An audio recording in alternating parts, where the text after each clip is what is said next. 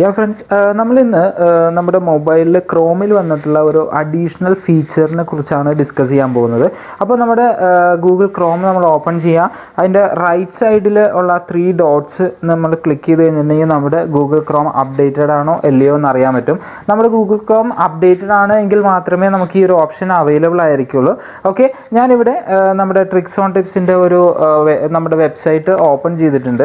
Okay ഈ ഒരു website നമുക്ക് എങ്ങനെയാണ് ഷെയർ ചെയ്യുന്നത്. നമ്മൾ സാധാരണ രീതിയിൽ നമ്മൾ എങ്ങനെയാണ് ഷെയർ ചെയ്യുന്നത് നമുക്കൊന്ന് നോക്കാം. ഇതിലിപ്പോൾ നമ്മൾ ആ ത്രീ ഡോട്ട്സിൽ ഞാൻ ഷെയർ ബട്ടൺ ക്ലിക്ക് ചെയ്യുമ്പോൾ നമുക്കിവിടെ കാണാൻ സാധിക്കുന്നത് നമ്മുടെ WhatsApp new Facebook Gmail chat Telegram അതുകൂടാതെ നിങ്ങൾക്ക് തൊട്ട് താഴെ copy link send to your devices പിന്നെ അഡീഷണൽ ആയിട്ടുള്ള അതായത് നമ്മുടെ ഗൂഗിൾ ക്രോമ് നമ്മൾ അപ്ഡേറ്റഡ് ആണ് എങ്കിൽ മാത്രം നമുക്ക് ലഭിക്കുന്ന ഒരു ഫീച്ചറാണ് ഈ ക്യു ആർ കോഡ് എന്ന് പറയുന്നത്. ഓക്കെ ഈ ക്യു ആർ കോഡാണ് നമ്മുടെ ഗൂഗിൾ ക്രോമിൽ വന്നിട്ടുള്ള അഡീഷണൽ ആയിട്ടുള്ള പുതിയൊരു ഫീച്ചർ ഓക്കെ ഈ ഒരു ഫീച്ചർ വന്ന ഇതിൽ നമുക്ക് ഗൂഗിൾ ക്രോം ഇതിൽ നമുക്ക് ആ ഒരു ക്യു ആർ കോഡ് ജനറേറ്റ് ആയി വന്നിട്ടുണ്ട്. നമുക്കത് ഡൗൺലോഡ് ചെയ്യാം.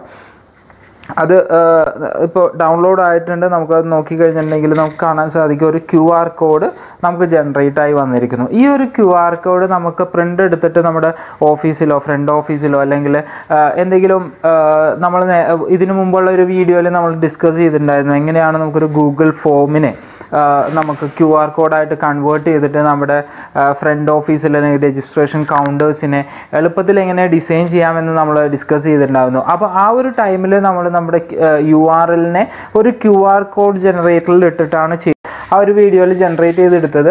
ഇപ്പോൾ ഈ ഒരു ഓപ്ഷൻ ഈ ഒരു ഓപ്ഷൻ നമ്മുടെ ക്രോമിൽ അപ്ഡേറ്റ് ആയതുകൊണ്ടിട്ട് നമുക്ക് ഈസി ആയിട്ട് നമുക്ക് ക്യു ആർ കോഡായിട്ട് കൺവേർട്ട് ചെയ്യാൻ വേണ്ടിയിട്ട് സാധിക്കും. അപ്പോൾ നിങ്ങളെല്ലാവരും ഇതൊന്ന് ട്രൈ ചെയ്ത് നോക്കുക.